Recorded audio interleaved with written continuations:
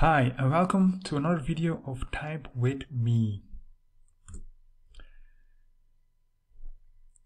This video goes around asynchronous tasks and error handling with FPTS or Functional Programming TypeScript.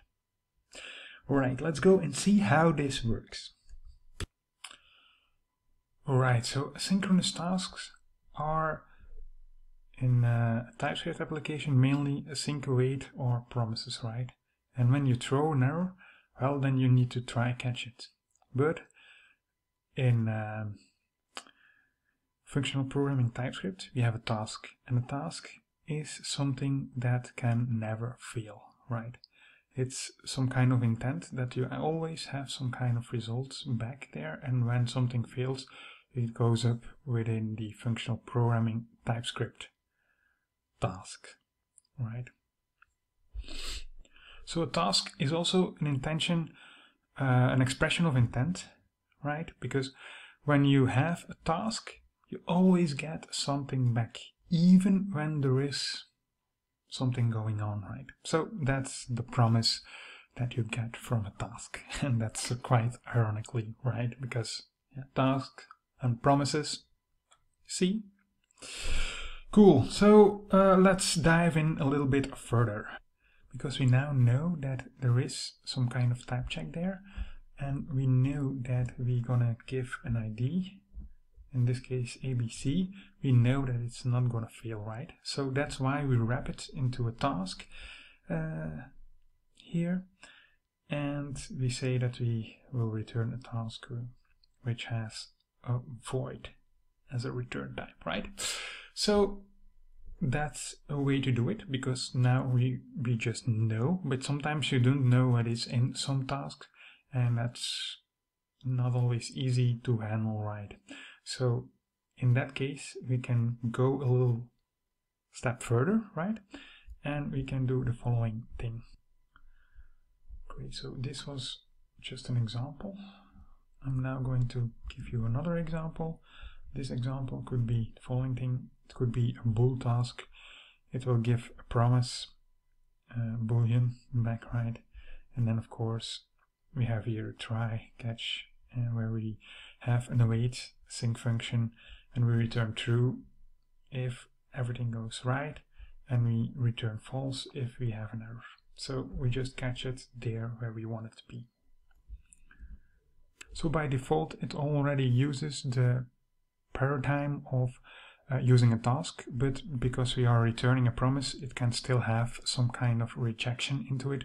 So it still has some kind of ambiguity in it in itself. So uh, let us rewrite it to a real task, right? So here we have it. This is a real task, bool task, task boolean. It's an asynchronous function here, and yeah, you now know that you always get true or false. When you are having a promise boolean, you still can get a reject, right? You still can have that. And that's the, the, the big advantage of using a task. You always know that you get a boolean back from that asynchronous function, from that asynchronous flow. You can very easily uh, turn uh, something into a task, right? So that's basically the same as promise.resolve. We have here task.of and then you give a value to it and then, yeah, um, you know that it's a task. So you, you see it also like here, right? Same as uh, the promise.resolve. We have task.of. Another great thing within uh, functional programming is either. So you have either uh, type and then in this case left, or you have either in this case type right. So uh, left is the error and right is the result. So what we could do is here have error well formatted, uh, not well formatted, sorry, error not uh, well formatted and then we have here for example bool result and then of course it, it makes more sense to have so because when we have our pipe okay, which which is um, something from indeed functional uh, TypeScript function, where we go from from one function to another. We need to have something where we can say that it's either an error that occurs, right, or it it is some kind of bool result, right?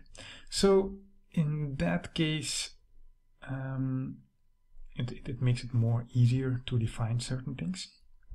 So imagine you have password that somebody provides and you want to give it some checks, right? Then you can very easily do something like this.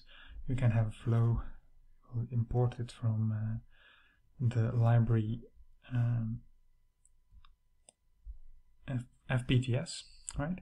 And then we have here a flow. We have password off, we have password.validate, which has a minimum length of 8, uh, capital letter required true, and then of course we do a map upon that and we say that the password needs to be hashed. And we hash the password and then of, of course after that we can save it to our database. This kind of validation flow can very easily be implemented, but of course you can return in this case uh, crypt, uh, crypto pass or you can have um, valid invalid or something like that. And then you can check if pipe if pipeline is of the type invalid or of the type CryptoPass and then do something with it, right? If it's invalid, yeah, you uh, you don't save it to the database. If it's if it's valid, you have a CryptoPass and you can save it to the database there, right? So that's a little bit how you could uh, easily uh, work with uh, a certain flow within functional programming and when you have an error you just do something with either. This is just uh, a small introduction.